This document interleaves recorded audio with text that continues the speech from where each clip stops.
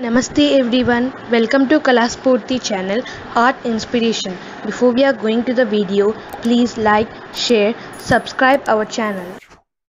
Hi friends ఈరోజు మీ అందరికీ నేను ఇంట్లోనే ఈజీగా ఫ్రైడ్ చికెన్ దమ్ బిర్యానీని ఎలా ప్రిపేర్ చేసుకోవాలో చూపించబోతున్నాను ఫ్రెండ్స్ దానికోసం ముందుగా మనం చికెన్ పీసెస్ని ఇంకా లెగ్ పీసెస్ని కూడా ఫ్రై చేసుకోవాలి ముందుగా ఇలా ఒక హాఫ్ కేజీ చికెన్ తీసుకొని బాగా వాష్ చేసుకొని అందులో ఒక స్పూన్ కారం ఒక స్పూన్ ఉప్పు ఒక టేబుల్ స్పూన్ మటుకు కార్న్ఫ్లవర్ టూ స్పూన్స్ పెరుగు.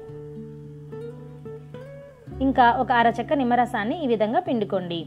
ఇప్పుడు ఇందులోనే ఒక టేబుల్ స్పూన్ మటుకు గరం మసాలా పౌడర్ ఒక స్పూన్ అల్లం వెల్లిపాయ పేస్ట్ ఇంకా పసుపును కూడా యాడ్ చేసి బాగా కలుపుకోండి. ఇప్పుడు ఈ విధంగా కలుపుకున్న చికెన్ పీసెస్ని మనం మూత పెట్టేసి ఒక thirty to forty five minutes మటుకు పక్కన పెట్టేసుకోవాలి. ఈ విధంగా చేసుకున్నట్టయితే మనకి చికెన్ అనేది చాలా జ్యూసీగా సాఫ్ట్గా ఉంటుంది. ఇప్పుడు స్టవ్ మీద ఒక ప్యాన్ పెట్టుకొని అందులో ఒక three to four table spoons మటుకు ఆయిల్ని యాడ్ చేసుకోండి. ఇప్పుడు ఇందులో మనం ముందుగా మ్యాగ్నేట్ చేసి పెట్టుకున్న చికెన్ పీసెస్ని ఇంకా లెగ్ పీసెస్ని కూడా యాడ్ చేసి చక్కగా రెండు వైపులా దోరగా వేయించుకోండి. ఇలా గోల్డెన్ బ్రౌనిష్ కలర్ వచ్చేంత మటుకు రెండు వైపులా మనం చికెన్ పీసెస్ని ఇంకా లెగ్ పీసెస్ని కూడా ఫ్రై చేసుకొని పక్కన పెట్టుకోవాలి. ఫ్రెండ్స్ మీరు కనుక నా ఛానల్ని ఫస్ట్ టైం చూస్తున్నట్టయితే తప్పకుండా సబ్స్క్రైబ్ చేసుకోండి. ఇంకా బెల్ ఐకాన్ మీద క్లిక్ చేయండి ఫ్రెండ్స్ మీకు నోటిఫికేషన్స్ వస్తాయి. చూసారు కదా ఫ్రెండ్స్? ఈ విధంగా మనం టర్న్ చేసుకొని ఒక ఫైవ్ మినిట్స్లోనే మనకి చికెన్ అనేది వేగిపోతుంది. ఈ విధంగానే మనం చికెన్ పీసెస్ని కూడా ఇంకా లెగ్ పీసెస్ని కూడా ఫ్రై చేసుకొని పక్కన పెట్టుకుందాం.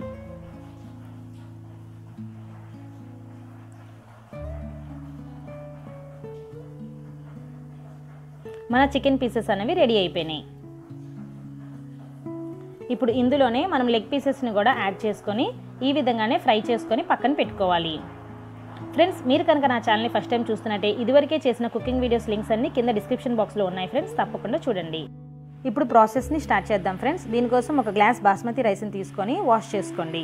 ఇప్పుడు గ్లాస్ బియ్యానికి ఇలా వన్ అండ్ హాఫ్ గ్లాస్ వాటర్ని యాడ్ చేయండి. ఇప్పుడు ఇందులో ఒక స్పూన్ షాజీరా ఇంకా తగినంత సాల్ట్ని యాడ్ చేసుకోండి. ఇప్పుడు ఈ గిన్నెని కుక్కర్లో ప్లేస్ చేసి ఇందులో ఒక రెండు నుంచి మూడు బిర్యానీ ఆకులు ఇంకా ఒక టేబుల్ స్పూన్ మటుకు ఆయిల్ని యాడ్ చేసుకోండి. ఇలా ఆయిల్ యాడ్ చేసుకోవడం వల్ల మనకి రైస్ అనేది చక్కగా పొడి పొడిగా వస్తుంది. ఇలా ఒకసారి మిక్స్ చేసుకొని మూత పెట్టుకొని కుక్కర్లో వన్ విజిల్ వచ్చేంత మటుకు ఉడికించుకోండి.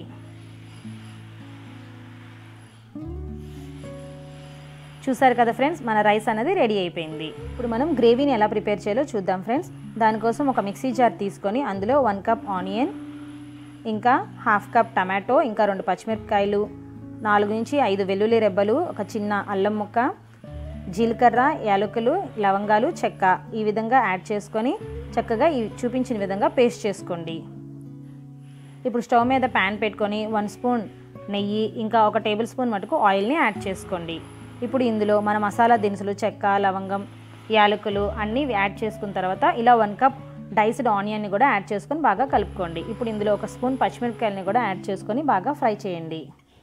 ఇప్పుడు ఇందులోనే మనం ముందుగా ప్రిపేర్ చేసుకున్న టమాటో ప్యూరీని కూడా యాడ్ చేసుకోండి. ఇప్పుడు అందులో ఒక స్పూన్ కారం ఒక స్పూన్ గరం మసాలా పౌడర్ ఇంకా తగినంత సాల్ట్ని యాడ్ చేసుకోండి. ఇప్పుడు ఇందులోనే ఒక స్పూన్ మటుకు పసుపును కూడా యాడ్ చేసుకొని బాగా కలుపుకోండి. ఈ విధంగానే మనం సిమ్లో పెట్టుకొని మూడు నుంచి నాలుగు నిమిషాల మటుకు ఈ గ్రేవీని ఉడకనివ్వాలి. తర్వాత ఇందులో ఒక హాఫ్ గ్లాస్ మటుకు వాటర్ని యాడ్ చేసుకోండి. ఈ విధంగా మనం గ్రేవీ అనేది రెడీ అయిపోయింది. ఇప్పుడు ఇందులో కొత్తిమీరని చల్లుకొని స్టవ్ ఆఫ్ చేసుకొని పక్కన పెట్టుకుందాం. ఇప్పుడు స్టవ్ మీద వేరొక ప్యాన్ పెట్టుకొని త్రీ టేబుల్ స్పూన్స్ ఆయిల్ని వేడి చేసుకోండి. ఇప్పుడు అందులో ఒక హాఫ్ కప్ మటుకు ఆనియన్ని యాడ్ చేసుకొని కొంచెం సాల్ట్ వేసి మనం సిమ్లో పెట్టుకొని ఒక ఐదు నుంచి ఆరు నిమిషాల మటుకు ఇవన్నీ కూడా గోల్డెన్ బ్రౌనిష్ కలర్ వచ్చేంత మటుకు ఇలా కలుపుకుంటూ వేయించుకోవాలి.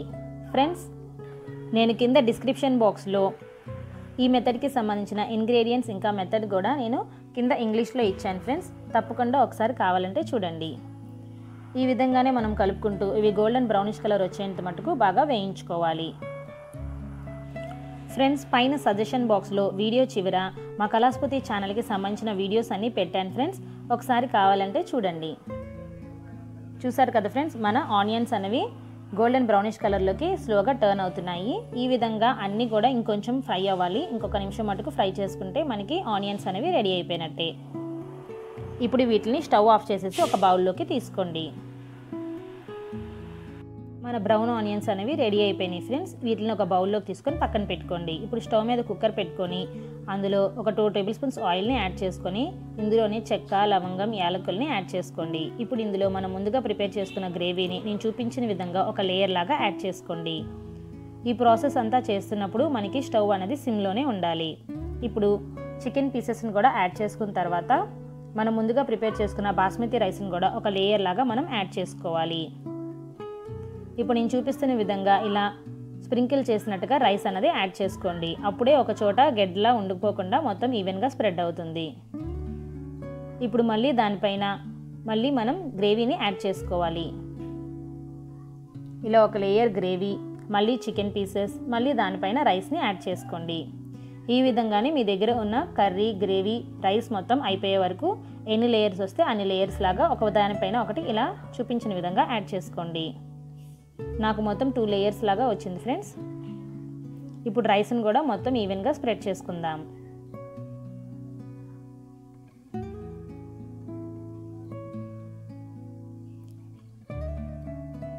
ఇప్పుడు దీనిపైన మనం ముందుగా కట్ చేసి పెట్టుకున్న పుదీనా కొత్తిమీరను కూడా ఈ విధంగా స్ప్రింకిల్ చేసుకోండి. ఇప్పుడు ఇందులో నేను కుంకుమ పువ్వు వాటర్ని యాడ్ చేస్తున్నాను. ఒక టూ టేబుల్ స్పూన్స్ మటుకు యాడ్ చేసుకోండి. ఇది మంచి కలర్ ఇంకా ఫ్లేవర్ని కూడా ఇస్తుంది. ఇలా ఒక మూత పెట్టేసుకొని మనం ఒక త్రీ టు ఫోర్ మినిట్స్ మటుకు సిమ్లో ఉంచు అంతే ఫ్రెండ్స్ ఎంతో టేస్టీగా ఉండే మన ఫ్రైడ్ చికెన్ దమ్ బిర్యానీ అనేది రెడీ అయిపోయింది. ఇప్పుడు దీనిపైన మనం ముందుగా రెడీగా పెట్టుకున్న ఫ్రైడ్ ఆనియన్స్ని వేసి గార్నిష్ చేసుకోవాలి.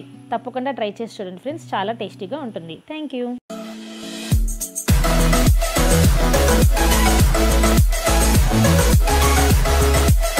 We'll